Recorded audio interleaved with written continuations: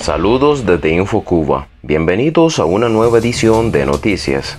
Gaes iluminado y el pueblo a oscuras, usuarios en redes visibilizaron cómo en pleno apagón generalizado en Habana, una de las obras impulsadas en la capital por Gaesa no sufrió afectaciones de fluido eléctrico.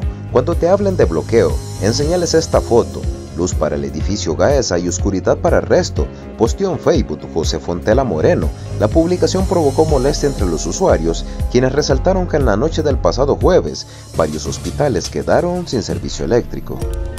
Otro show mediático. La dictadura culpa a pacientes psiquiátricos de presunto hecho vandálico en Banco de Trinidad. Un presunto hecho vandálico en un Banco Popular de Ahorro de Trinidad fue cometido por pacientes psiquiátricos, informaron medios locales. Lo anterior se clasifica como un nuevo show mediático de la dictadura castrista que ya no haya que decir para esquivar el descontento popular en la isla.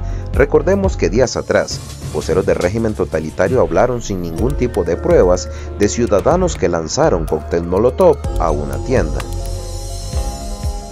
Cansada de las críticas situaciones que atraviesa el pueblo en la isla, una anciana cubana se lanzó a las calles a hacer un cacerolazo. Aunque el cacerolazo se hizo desde varias casas de la comunidad, la anciana fue la única con la valentía suficiente para salir a la calle, a pesar de las consecuencias que pudo haber tenido con los esbirros de la dictadura. El régimen cubano convoca a un acto de reafirmación revolucionaria en Nuevitas, Camagüey, en respuesta a la masiva protesta contra los apagones que realizó la población local la noche del jueves. Según publicaciones en Facebook de medios gubernamentales locales, decenas de cubanos de esa localidad salieron con carteles de los dictadores Fidel y Raúl Castro y gritaron consignas como ping pong fuera bajo la gusanera, utilizados por el régimen para desacreditar cualquier acción disidente en el país. Asimismo fue llamado un cuartel local que cantó canciones de la propaganda revolucionaria. Cubanos critican a empresa eléctrica de La Habana tras negar el apagón en Hospital Hermanos Almejeira. La empresa eléctrica de La Habana recibió duras críticas en sus redes sociales tras declarar fake news las denuncias de la población sobre el apagón en el Hospital Hermanos Almejeira.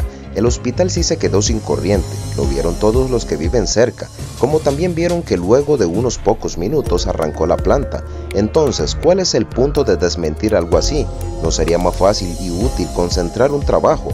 Porque para desvincular realidades ya tenemos bastante, en un sentido como en otro, dijo un usuario en Facebook y el pediátrico de Centro Habana también tenía corriente o los médicos pusieron las velitas en las mesas porque estaban aburridos, se preguntó otro usuario. Protesta en Cuba. Nuevita sale a las calles a pedir libertad. Al ritmo de la conga pongan la corriente pinga y gritos de libertad. Los cubanos protagonizaron la noche de este pasado jueves una manifestación pacífica en el reparto pastelillo del municipio Nuevitas en Camagüey.